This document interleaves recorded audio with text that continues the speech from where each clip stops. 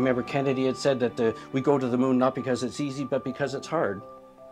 To me, it was more a case of we go to something like this, we go to the moon because it's going to expand people's minds.